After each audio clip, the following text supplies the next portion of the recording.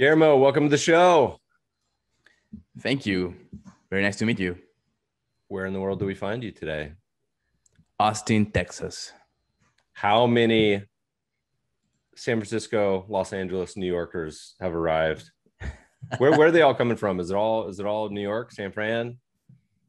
You know, yeah, most of them come from big cities. A lot of people, I mean, everyone knows about Californians invading Texas, but there's a lot of people coming from Chicago because of that, you know, the, the severely cold weather they had a couple of years ago. Um, a lot of people got traumatized by that and and are just flocking to Austin, Texas instead. How long uh, how long you been there? I've been here for a year and a half now. Oh, sweet. Well, we'll be there probably at some point in the fall. I said I was going to come in September, and a bunch of local Austin people said no, wait till October. So maybe not till then. Uh, so listeners will have to plan a meetup. Um, Guillermo, what was your first motorcycle? We're going to talk all things surfing, motorcycles, uh, startups, entrepreneurship. What was your first motorcycle? Do you remember? Yeah, my first motorcycle was a Kawasaki Ninja 250. It's like a Ah. learning sport bike. Yeah. Well, mine wasn't mine, as my brother's. Uh, was a Yamaha 80, and I used to ride it as a kid in the neighborhood in Colorado. And every single time I rode it, the neighbors would call the cops on me. And I don't know how old I was. I wasn't 16, but every single time the cops would show up and they'd just be like, dude, you can't be riding this on the streets in the suburbs. Uh, and Small uh, or yeah, tiny. It was a tiny thing, but um, after my brother wiped out on a moped, I you know, and came home, my mom there's like band-aids all in the house. He was fine, but later, but uh, that definitely put a damper on on me getting to take that out. But you know, I, I come from a motorcycle family. My old man used to have like a 1930s Harley in the wow. garage for many years. Yeah, uh, so I, I live in the problem is I live in LA now, so I have my uh, license. I just um, get the kibosh from my family on on riding one anywhere. Uh, but um, did you start riding from an early age? I mean, what was the thing? Well, you grew up in Peru, right? yeah, I grew up in Peru and uh but I actually started riding one when I was 23 in Texas because you know I missed the adrenaline from surfing in Peru and uh at the time in Dallas like you know I looked at skydiving I looked at fun things to do and and I set up with uh with buying that Kawasaki Ninja motorcycle What's uh what was your surf break in Peru? They uh, this kind of a world class spot. There there's one that's like one of the longest. Is it lefts in the world? Maybe right. I can't remember. Yeah, most of our surf rigs are left, and Yeah. yeah, yeah and the longest one is it's called Chicama, and it's in the north of the country. The north has excellent surf spots, and it's also fairly warm year round. So like Mancora is a great surf spot, and and that area has just it's just excellent. Uh, it's also not very crowded compared to you know California or Hawaii. Well, Uh, my the, spot was um, my spot was south of Lima. It's this beach called Buhama.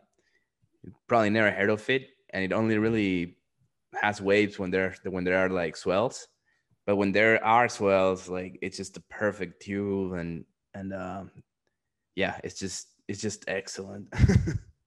Good. Well, we'll uh we'll hit you up for some uh travel agent ideas when we make a trip. It's been high on my to-do list for a long time. So uh I'm excited. You can be our tour guide. Let's talk about startups. Uh you guys tell us a little bit about what Riders Share is and uh when did you guys get when did you guys get started? Riders Share is like an Airbnb, but for renting motorcycles. So, you know, people go on the website, list their private motorcycles on there, and other people rent them. To make it possible, we provide insurance, we vet the riders, you know, make sure they have motorcycle license, we check their credit, their driving records, and uh, and we also provide roadside assistance and, and basically make it as safe as possible. And um, we launched it on February of 2018. So what the uh you know some of these peer-to-peer sort of automobile ideas you know, I always think about automobile and motorcycle people as kind of like dogs and cats, you know. Um, there's uh they definitely the Venn diagrams, they maybe overlap a little bit, but uh, you know, motorcycle friends are definitely uh, a slightly different breed. I used to um get excited about the worlds of investing in, in motorcycles combined with the old Jim Rogers book about um, investment biker, where he would ride all around the world and look for investment opportunities everywhere. Uh, one of my favorite investing books, but the freedom of it. Um, but so it's interesting, you guys came up with a motorcycle only concept. What was the sort of give us an overview of the motorcycle market in general, you know, relative to, to cars? Is it uh, similar? How is it different? What is the sort of uh, takeaways on a on a macro view? Yeah, when I decided to start a company, I couldn't find a lot of research on the motorcycle rental market.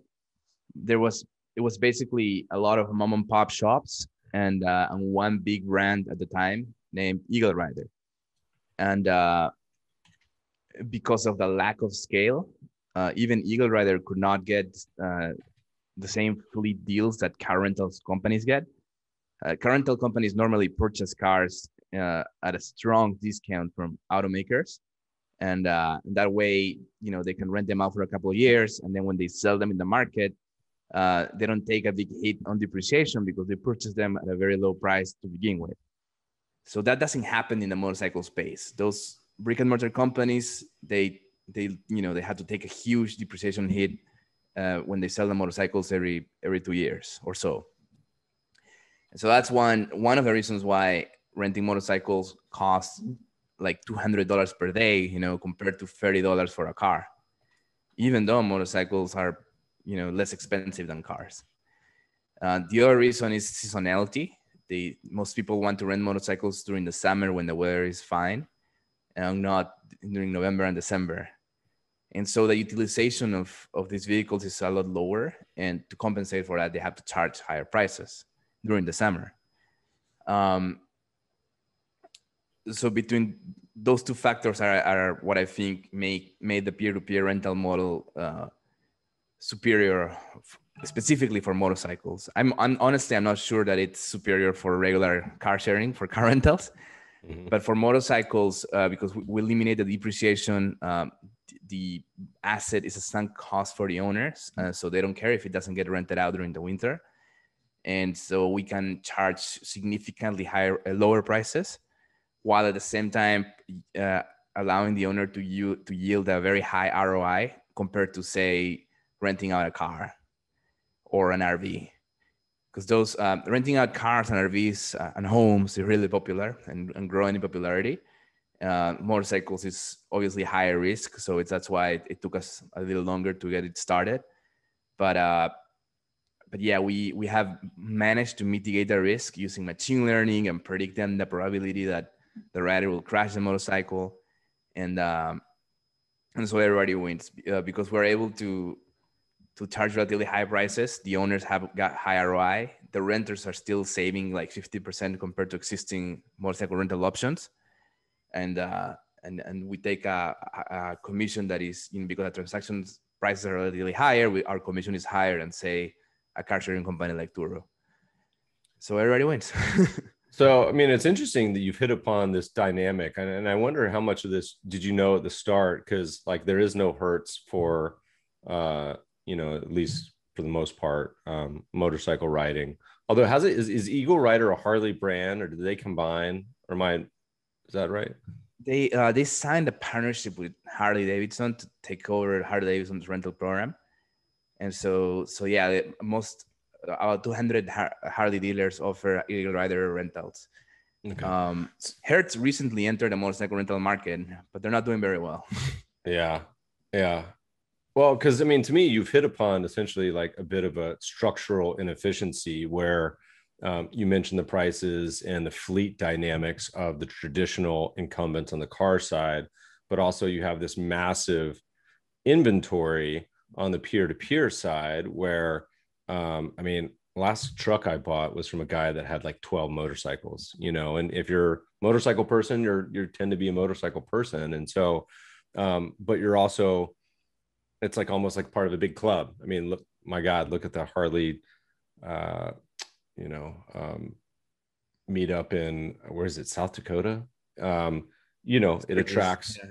right, it attracts a big cult following, and so um, did you guys kind of know a lot of these insights in the beginning? Did you do like a, a case study where like, let me look into this, or like how'd you get started? Because I mean, building a marketplace is classically really hard lining up the supply and the demand and getting it all figured out what was sort of the inspiration idea and how'd you how'd you put it into motion well you know um, it all started because that Kawasaki Ninja, I, I crashed it within two months of buying it.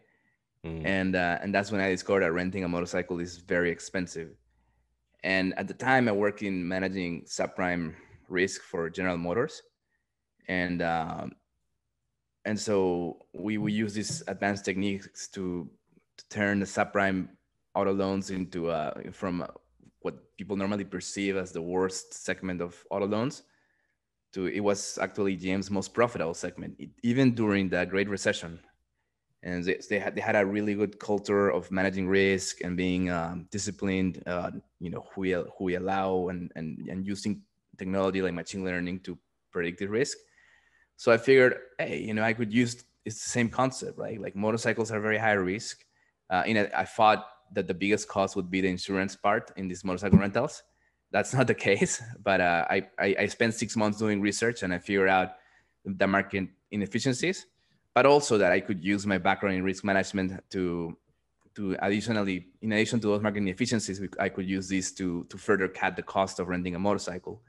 There wasn't a lot of research available, so I had to use a lot of heuristics like, hey, you know, the, the car rental market is $50 billion. And for motorcycles represent 3% of all vehicles out there. So 3% of all cars. Uh, so basically I can assume that the motorcycle rental market is probably 3% of that 50 billion nationally today, but, uh, or, or even smaller because it's not very developed. Um, then I, I looked at every single news article uh, about Eagle Rider uh, their CEO revealed a lot of information on, you know, and so I knew the revenue, the number of motorcycles they owned.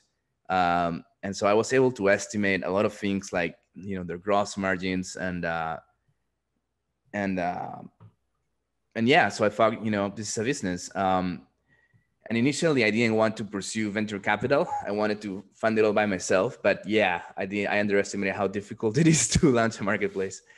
Um, so uh, I ended up taking uh, taking massive amounts of debt, and then when that wasn't enough, I took on outside investors.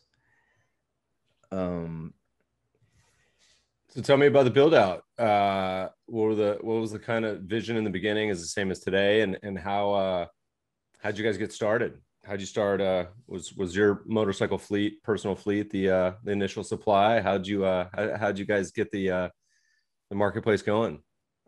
Yeah, well, the first motorcycle was mine. Uh, I, I, bought a, I think a Harley Street 750 at the time, and then um, I, we, to get launched, I emailed every single motorcycle journalist out there, and uh, and got a lot of press coverage because we were the first, and that helped us land our first 500 motorcycles, but also start coming up on organic rankings, and uh, and that was very important, right? Because then now when people search for a motorcycle rental on Google, they would find our website, and and that and that alone just helps spread word of mouth. Hmm. Um, from there, it it was mainly advertising and paid acquisition. um, you know, there's no there's no way around it because uh, Google, it's it's a feeble god. You you don't know what the what the search engine algorithm is going to do next. So we try to do the best that we can and and sometimes and, and we've gotten to a point where where we rely mostly on paid advertising. Um, what's it what's the experience been like there? What's worked? What hadn't worked? You just got a, a picture of somebody riding off into the sunset or what? Yeah we tried all kinds of things you know from sending physical flyers to online ads to sponsoring magazines uh, uh, and you know what worked for, best for us is is boring is social media ads and Google ads, you know. Um, the yeah, we, we haven't been able to find anything that that has been particularly interesting. Yeah. Um, yeah. What's, we, what, what's the use case? Is it is the is the target uh, demo? Is it someone that wants to uh, travel somewhere and rent one, or is it someone trying to try out new bikes? Both, something else? Um, so before the pandemic, 90% of our customers were people traveling and uh, so they don't have their own motorcycle with them. Mm. And uh, and it's yeah, because you know if you go to a beautiful scenery, it's just so much better to experience it on on a motorcycle. Um, and then yeah, another segment is people that are out to try motorcycles before they buy. And then a third segment is people that have motorcycle license but don't currently own a motorcycle. Mm, so uh, a lot of me. people, yeah, a lot of people sell their bikes in their 30s when they when they have kids, and uh, and then they buy bikes again in their 50s and 60s. But uh, so we're trying to fill that gap period um, by making it relatively affordable to go on a ride every now and then. That's why I started a company, right? I crashed the bike and I was like, I don't even use it that often. Um, I'd rather rent than buy, and and but unfortunately, renting is too expensive. So, so I'm trying to make it affordable enough that people just rent when they need to use a bike as opposed to owning one. Um, and, and I get it that a lot of people would rather own the bike and they take a lot of pride on their Harleys, but uh, but for many others, bikes are adrenaline, you know, or experiences right. some fun, not not out being a poser. well, you mentioned you mentioned the uh, hmm. classic fear and reality of every motorcycle uh, rider, and I mean most motorcycle uh, friends have laid the bike down. I know it's at some point. What does that create as far as challenges on the insurance side? You know because i imagine i don't know what the crash rate relative to cars is but um, does this create additional headaches? Is it more expensive? Was it a huge gate to you guys launching the platform? Kind of how how'd that uh, factor in? Yeah i mean i've been trying to launch this company since 2014 it took me years before i convinced uh, an insurance broker to convince an insurance carrier to insure us. And even then, when we launched, uh, they priced insurance so high that we were losing a hundred dollars every time somebody rented a motorcycle. But uh, I knew again from doing research that they were overestimating the risk. Uh, that in fact, insuring motorcycles is less expensive than insuring cars because the underlying asset costs less. And when they do crash, uh, they tend to like cars can cause millions of dollars in damage and hurt other people Whereas motorcycles, if they hit a car, they usually scratch the bumper. And the rider itself is damaged, but not, but they don't cause a lot of third party liability. And so accidents are more frequent, but they they the average accident amount is significantly lower. Mm. So overall, I think the insurance cost is can be managed. Uh, we're still working on it, but uh, we managed to cut it down significantly since we launched. Um, by cutting the you know the accident rate the severity of the accidents and and i'll tell you 99% of the accidents we see on Riders Share are caused by the rider not by cars not by the motorcycle. It's always it's almost always that the rider made a mistake. And, and it's almost always that uh, either it's two things. Either they drop the motorcycle at a parking lot while while maneuvering. That's the most common one. It's not mm. it's costly you know because you have to replace the handlebar, the shifting lever, you know, like usually like five parts when, when people drop it.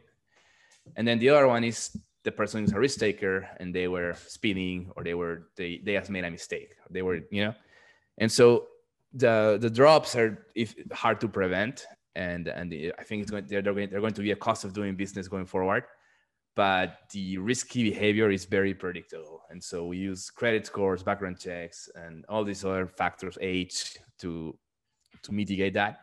And uh, and we've been fairly successful at doing that. So uh, so now we don't lose money every time somebody rents a motorcycle. yeah. Yeah. And so what what's the sort of cost? You know, if I go on there and I look up in LA, I want to rent a bike for the weekend I assume there's kind of a, a sweet spot distribution on kind of what these what these cost. Yeah. So the average transaction is three days, and but the, the longer you rent, the lower the per day cost. So where where we are most competitive compared to other rentals is on long duration rentals. You know, if you want to rent for two weeks, we are like seventy percent less expensive than brick and mortars. If you want to rent for one day, it's usually about the same price. and uh, but the typical price people are paying, including insurance and everything, is about 120 dollars per day, which is uh, which is roughly 80 dollars less than you would get at a brick and mortar shop. Hmm. Why is the brick and mortar so much more expensive? Is it uh, inventory uh, or what? Yeah, I mean, motorcycles require more maintenance uh, in general. Uh, they need they need uh, they only get about 150 days of utilization compared to a car rental, so they need to charge double the price in order to make the same amount of money as a car rental. So you guys recently did a funding round uh, that I participated in because it seems like such an obvious business model. There's some pretty clear takeaways that you mentioned about what the pandemic was like. What has been sort of the reopening look like for you guys, kind of as expected? Um, what what was the sort of uh, business plan you guys had last year? Did you focus on you know certain ideas, execution, yada yada? Yeah, so last year because of the pandemic, we we stopped focusing on growth and instead we focused on this uh, on insurance risk, right? On making the uh, the business uh, as close to profitable as possible. So that way, when things reopened, we could spend money on marketing and, and, and grow and, and not, not have to worry about uh, losing money. Um, and so we did that. Uh, and then, uh, you know, we've gone, uh, we've gone to a point where we, we started our own captive insurance company to, in order to cut insurance costs. And, um, and now in, you know, we, we just had our best month ever, three months in a row we uh, I think in June we doubled the more than doubled the volume that we did in in 2020 uh, as the market reopens.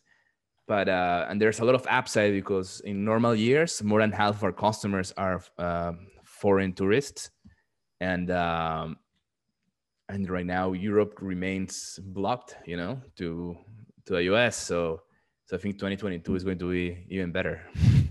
That's interesting. I hadn't thought about that. Uh, that's a that's a big chunk.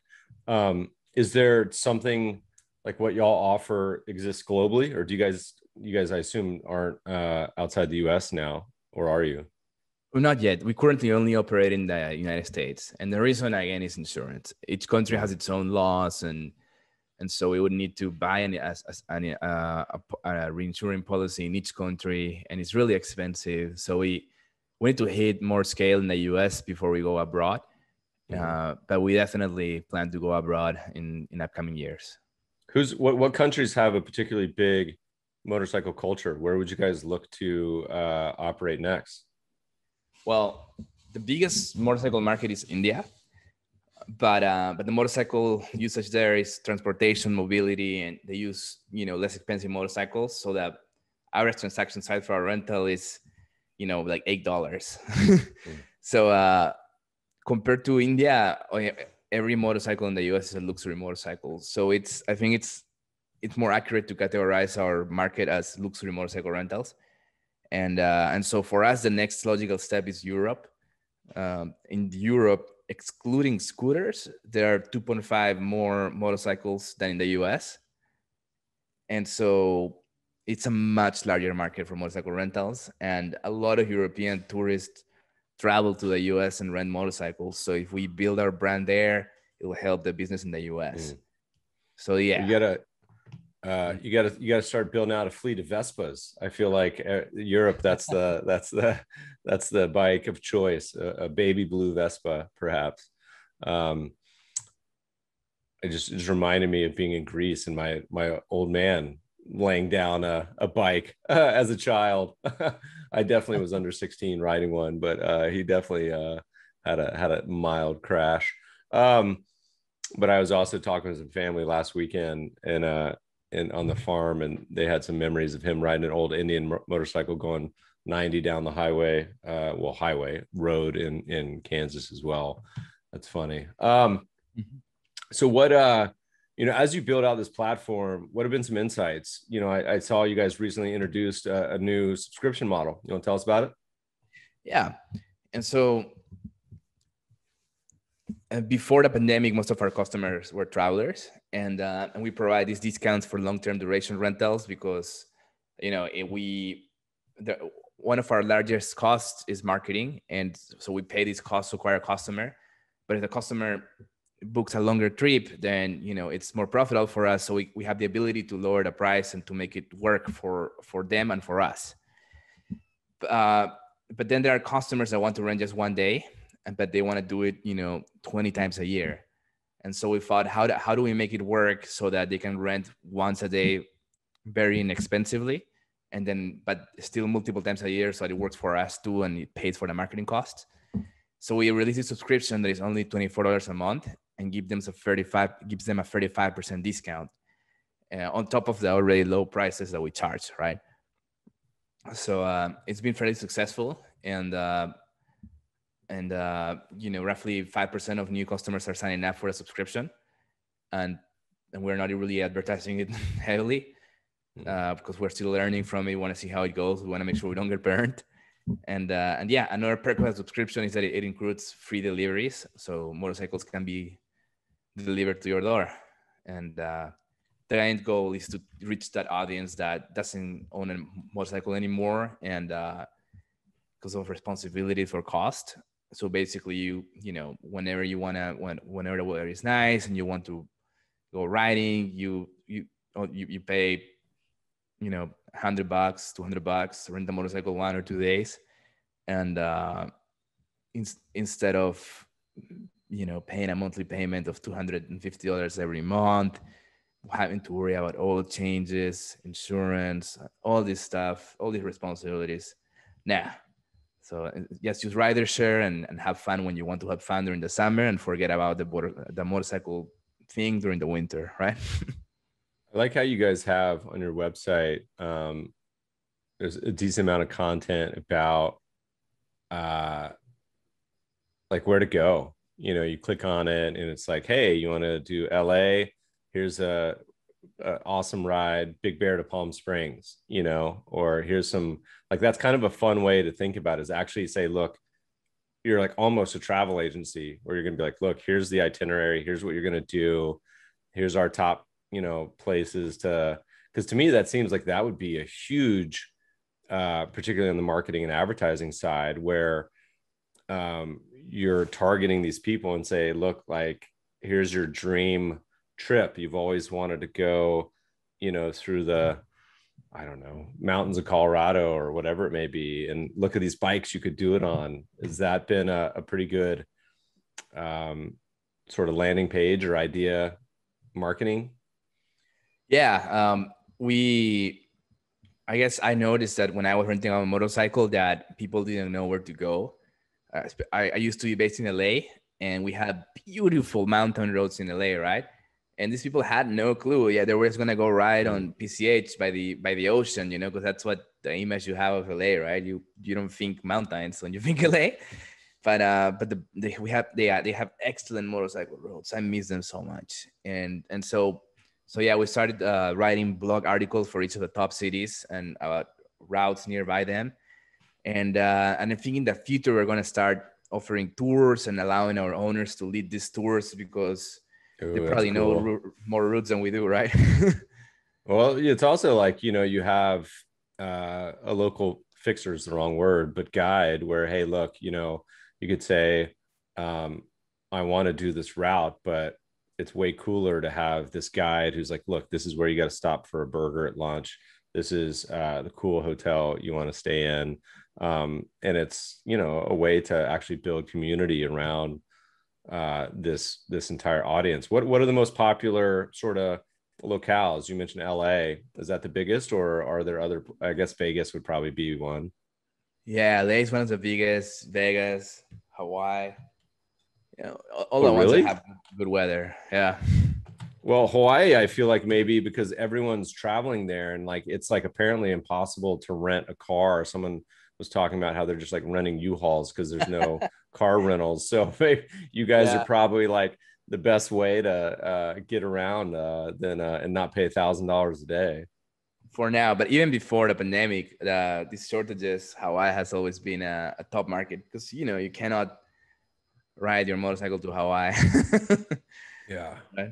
Yeah. No, that's obvious in retrospect. Now that you mention it, um, what are the top brands could I guess them in order? Would uh is Harley one or is that is it not? Harley's still number one. Yeah. Number two? Indian Indian is growing very fast though. Huh. Yeah. Uh, Uh, BMW number two or Ducati? Ooh, that's a tough call. BMW Um, probably. Um. Yeah. So BMW and and yeah and Ducati are. I don't remember which one's number two, number three. I think BMW is now number two, and uh, and Ducati number three. Yeah. So most people don't buy BMW and Ducatis, but they love to rent them. right? Why is that? I wonder. I think well, Ducatis are expensive, you know. Hmm. But if you have a chance to rent one for a day and and it's only ten dollars more expensive than a regular sport bike, why not?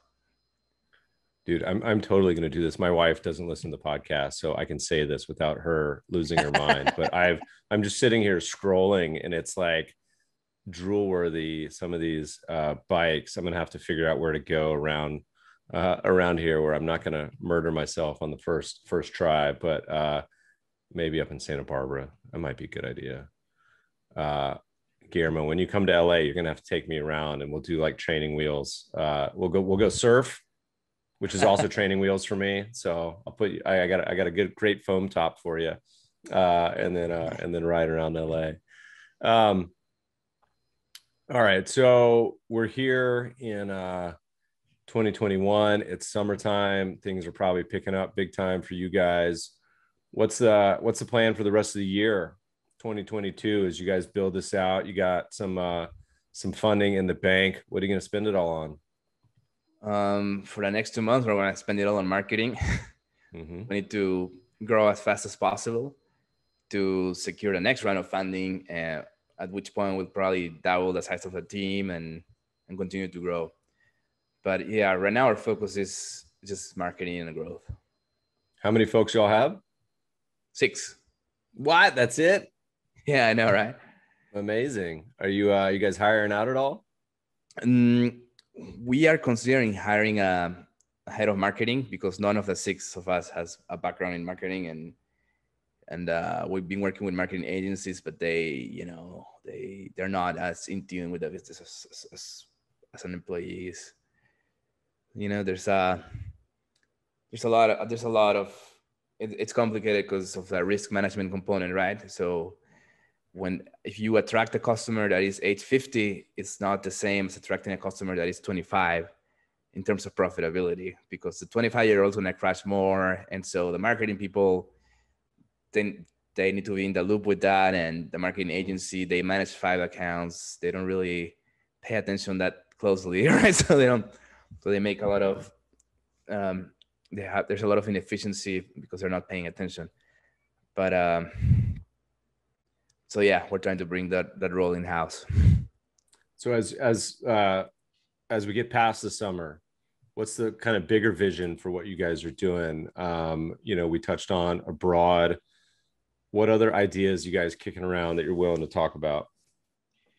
um you know ultimately we want to become kind of like the google of the motorcycle space right so we we figure out how to make money when people ride motorcycles and so we kind of like google uh, the idea is to give out everything for free and just monetize when people ride motorcycles and uh, uh, so basically if we can if we can offer not just experiences but like not just tours but also like motorcycle lessons and those Mm. lessons and, and bringing new riders results in people uh, renting more motorcycles then we'll give that out, we'll give that away for free or at cost right if we um right now uh, if you want to buy or sell a motorcycle there's basically just one website to do it and it's and uh, it costs money to list your motorcycle. It's a slow website it's terrible. And so for us we could launch something like that and only make money when people rent a motorcycle to test it out before they buy it right? So our vision is basically in the same way that google gives you a lot of free products uh, in exchange for for fueling their ad network we we want to basically be the company that makes money when people ride and and we'll give we'll give software away for free if you ride motorcycles and um, it's a lot to take on but uh, i feel like we were uniquely positioned to to take that role you know and, and basically make motorcycles popular again with young people. You know, where um, Mm. like the motorcycle community, are there some particularly uh, noteworthy websites where people go today uh, that are sort of like the home base of just motorcycle info? I mean, does it tend to surround the manufacturers of the bikes, or is it are there some like Moto World sort of type of websites that the you know big aficionados frequent? I think they mostly frequent motorcycle um, media outlets. You know, they they cover new motorcycles and motorcycle news. Uh, they frequent forums, Facebook, uh, Reddit. You know, but they there is a social media app only for motorcyclists, but I I don't think it has a lot of traction. There are some apps like Rever for uh, for tracking your riding and connect, but I don't. I'm not sure that they they they. I mean, I don't think they built very large communities of motorcycle riders. So right now, motorcycle the, the riding community is kind of scattered on the internet, and uh, and some websites have been very successful at, at getting gathering them for one use case. You know, for selling motorcycles, for buying parts, but uh, but not not uh, as successful as, as bringing them together for events and experiences and and making the community more fun to be a part of. You know. I feel like the clubs would be a natural, I don't know if partnership is the right word, but marketing angle to try to connect with like, you know, the various clubs and uh, throughout the country. Is that reasonable or is something y'all looked at or not looked at? Yeah, I, I tried reaching out and I don't usually get a response. hmm. And yeah, and I get it, you know, they, they tend to be uh, older, more old school, more, more conservative, and, and they look at this and they think it's crazy, right? Mm. But uh, it's just a matter of time. Once the more we grow, the more mainstream it becomes. And, and hey, look, you know, we've done 20,000 trips so far. It works. People are not stealing the motorcycle left and right. People are not crashing the motorcycle left and right. Like this business model works and it's better than the, than the alternative. And uh, so I think it's just a matter of time until people this you know it's kind of like airbnb like who who would rent their apartment to a total stranger right sounds insane but it's just and now it's totally normal right. Well it's like the the barriers that everyone assumed you know back in the day it's so obvious now. I mean the the two big ones airbnb like you're gonna get um your house trashed uh uber you're gonna get murdered and you know um kidnapped. But it turns out people on average are, are not terrible human beings. Um, and so you know for you guys it's it's the extension would be everyone's going to crash insurance major liability risk but you kind of it seems like you figured it out. Um, what's the uh is this all street bikes? Do you guys do anything uh, off-road? I'm glad you asked. We recently launched the off-road option and so for a motorcycle to be insured and Riders Share, they need to be street legal. But now if the owner gives you permission, you can pay extra to take a motorcycle off-road. And this option is available obviously for motorcycles that are off-road capable, right? Like adventure bikes and dual sports and those types of bikes. Uh, the BMW GS, uh, the 1200 GS is a very popular bike. It's a it's a bike that you can take off-road as, as, as well uh, as well as being comfortable for long trips. So we we really offer this option with the BMW in mind. Yeah. yeah. Um, I was just thinking about that. I mean, again, we've been talking about Kansas a bunch, but I was going out there to run around the farm, and my brother had a ATV, and I was like, "Oh, let's ride it!" I'm so excited. He's like, "No, it's leaking differential fluid everywhere, so um, no good." Would have been a perfect opportunity to rent some bikes. I don't know if you guys have any in Colby, Kansas, but uh, you know, maybe maybe from Denver would have been a good spot um, that we could have uh, we could have saved the saved the day. um, what else we didn't talk about that you guys are thinking about on your brain? Um, we've covered a lot of ground. Uh, anything else on the on the company build out on uh, kind of what you guys are up to, resources, all that good stuff yeah so we you know we're trying to grow as fast as possible we, we want to go international we want to add experiences into a platform and uh, and down the road even other products right we would consider doing other power sports like snowmobiles and whatnot, um, the insurance risk is very different there, hmm. um, mm. surprisingly. And so we haven't been able to. We'll need a lot of a lot more investment to be able to crack other power sports verticals. But uh, you know, but it's certainly something we would love to be able to offer all in one platform. You know. Yeah, you get some of the influencers to lead some rides. That would be cool. I uh I don't even know who the influencers in the motorcycle world are, but that would seem like a obvious or uh do a do a ginormous uh Harley meetup. Um what what have been some of your favorite rides? Walk me through it uh that you've uh you've taken over the years. Anything stand out in particular as memorable?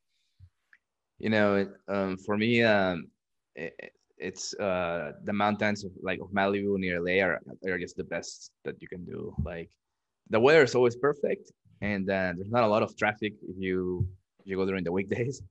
And so, which uh, way are you talking about? Like uh, up Mulholland or over toward Angeles or like Gorgonio? Where where are you going?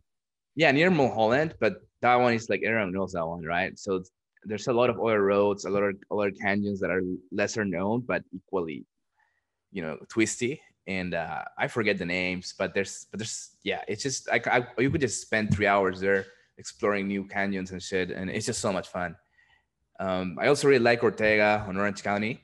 Um, mm. great view of Lake Elsinore. Uh, there's like I, I like that it has some you know really like a, a, couple of cool restaurants at the top to you know to take a break from the ride, and uh, I think those are the top for me um, hill country people say it's great here in texas but it doesn't compare to california man. Uh, what's on your bucket list? You got any in particular that uh, you're on uh, on your to-do list? And yeah I, have heard about the tail of a dragon obviously in tennessee. Mm-hmm. uh, i keep seeing all these pictures of crashed motorcycles in the tail of a dragon yeah. so obviously i want to try that. And um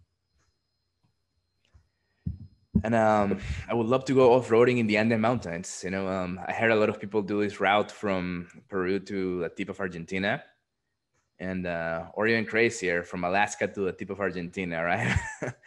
you know the uh, show. The um, I haven't watched it yet, but uh, it's called like Long Way Down or something. Ewan McGregor uh, did. I think it's that trip that they did a documentary about. Do you know what I'm talking about? Yeah, um, they did it on a on an electric Harley, right? Oh, is that right? You guys got yeah, electrics yeah. on there? Yeah, we, we do have electrics. Uh, and we also have the new Harley Pan America on there. But yeah, um, I have not seen it. It seems crazy. I wonder how many stops for you know for electricity they need to do to the trip. Long way down is the name of it. Man, it came out 10 years ago. Um, it must have just come out, I feel like, but they 10 years ago. Really? 10, that's well, that's that's what the internet says. So who knows? Um, I don't weird. think that uh, at all. So it might be a different. I'm I'm thinking of a different show. I think. well, yeah, I think I thought they came out with a, a recent one. Anyway, um, mm-hmm. they uh, what's the what's the feedback for the electric bikes? Is that something that's um, pretty real? What sort of range they have? Um, so what I hear from most people that own them is that like they're great to use in the city as a commuter if you don't have a long commute. But like, but like, you know, I, I have a neighbor that that owns a zero motorcycle, not the top end, but uh, still like we own rides that are like not even that long, and they have to stop for electricity, and it's just a pain in the ass. Like I don't yeah. think the range is there yet, and uh, the manufacturers they're all building motorcycles to cater to existing motorcycle community. And so they're trying to make them sporty and stuff when in reality they should be focusing on range and uh, lowering the drag and you know like personally i wish they built uh, an electric cruiser because because uh, then you it would, it would have a lower riding profile so it would have a you, you could potentially assign it with lower drag uh, you need a, a, cruiser with fairings essentially, and um, and I think that could you could probably get to 400 miles in range if you focus on reducing drag as opposed to sportiness. And that's where that's what more electric motorcycles are the most useful for, right? Because if you go on long trips and you save on gas and maintenance, that's what that's that's where they can excel and and where people that don't ride motorcycles can start considering oh shit you know this is like a tesla for motorcycles like i'm gonna be green and look cool yeah by the way the, the McGregor i looked it up there's a it was a sequel the original was uh long way round now this is long way down was the new one that came out on apple tv so there's oh. multiple he's, he somehow gets people to fund his adventures. So there's an opportunity for you. you got to get him on the cap table. Say, uh, McGregor, Obi Wan, come on, we'll uh, we'll get you as an ambassador. We need we need you to uh, uh, to get involved. Um, how do you get in touch with people like that you know? Like how do you get access to them? You just you call them that's what i learned about the podcast is the best thing um, is like you just uh ring them up say uh you, you know the, all those guys have agents so reach out to their agent at caa or wherever um and uh let me let me know if you need some help. We'll uh we'll we'll facilitate. Um what's been the hardest part of this journey so far? You guys have been at it for a few years. You're scaling. You found a little product market fit. Uh it's still a pretty small team. 20,000 rides. What's been the most challenging part of this journey? Yeah so uh, covid hit us you know at a very early stage in the company. Um, so it really it really hurt the demand for motorcycle rentals. And um, and, and it hurt us all. So everyone has been, you know, getting more competitive with prices and stuff to try to attract customers. So it, it really threw a wrench into our plan. Um, so we grew a lot slower than we anticipated. And now that things are coming back together, we're, we, you know, we we're starting to invest in marketing and growth again. But uh, but we basically lost an entire year, and we had to pay people salaries for a year and stuff. So it, it really um, it ate our marketing budget, like 80% of our marketing budget is gone. Um, we've also, and that's just more recent. When we when I when I was first starting out, um, I had no money, no contacts, no prior experience running companies. No, nobody trusted me, right? Um, so it was really, really, really difficult for me to raise money. I had to basically incur. Uh, at some point, I incurred three hundred thousand dollars in debt. Um, but I grew the company really, really fast. And so, and that allowed me to prove that I could manage insurance, that there's a market for this, that people are willing to share the motorcycles. And, but, uh, you know, a lot of people raise money without any revenue and, and, and stuff. And, and uh, for me, it took building one of the fastest growing companies in the world before I was able to raise money. you know, it, mm. it was crazy. And throughout this, like, I was like two weeks away from running out of money and then this this fraudster goes into a platform with a stolen credit card, a fake identity, and steals a motorcycle, you know, and it's takes one of those weeks away uh, from me. You know, it, it, was super, super, super stressful, you know. And at, at the beginning, it was just me and my co-founder. I did customer service, I raised money, I did marketing, I did insurance, and uh, so yeah, it's it's gotten a lot better.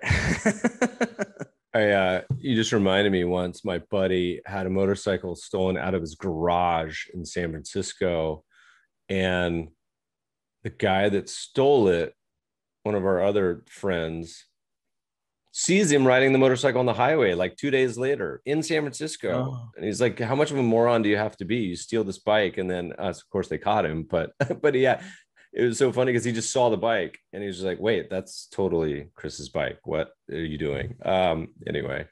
Uh what's what's been the most memorable moment? Anything come to mind where it could be good, it could be bad, anything in between where it's just seared in your brain? That's uh, quite a few, man. Like all these experiences that I would never have experienced. You don't know how difficult it is to start a company until you do it you know the, the first time the first time somebody booked a motorcycle they spent $500 i was so stoked. Mm-hmm. but i didn't know how to use the payment processor so i refunded it accidentally and i ended up giving them a free yeah what a moron. Um, another time is this fraudster. He he stole a, a Vanderhall, a really nice $30,000 vehicle, right? And uh, and I didn't know what to do, and the police don't help, and so uh, I I went and started trying to catching him myself.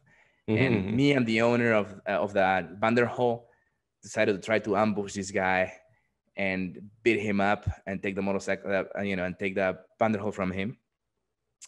unfortunately, it looks like the the fraudster caught up on us and left the vehicle like two two blocks farther from when we told him to meet us up, and um, and he he had done frame damage to the Vanderhall too in the during his unpaid for rental.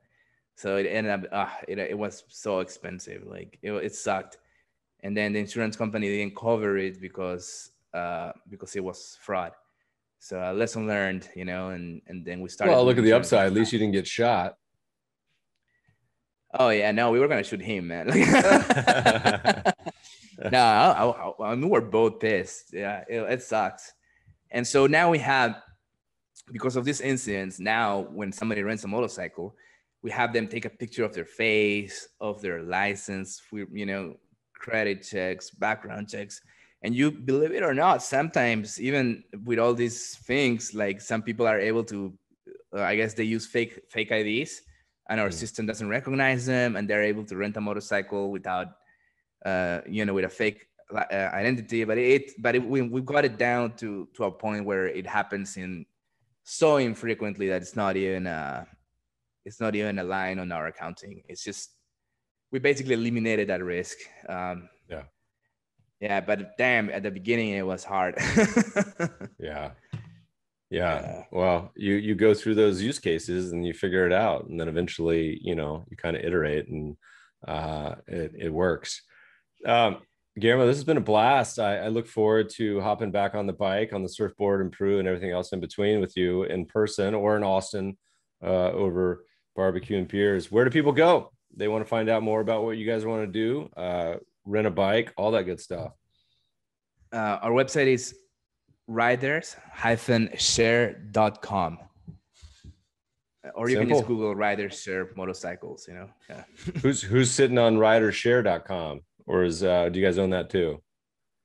Um it, it's it's some um real estate uh, what do they call them? Uh uh, is one of those IP squatters, you know? Ah, oh yeah. they want like right. 60 grand for that domain.